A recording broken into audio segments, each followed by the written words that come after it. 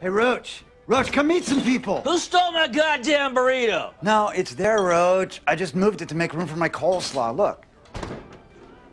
Did you mess with it? Did you come in it? Did you come in my burrito? I didn't come in your burrito! I wouldn't do that to you! He's a little squirrely from the concussions. Like I said, no helmets back in the day.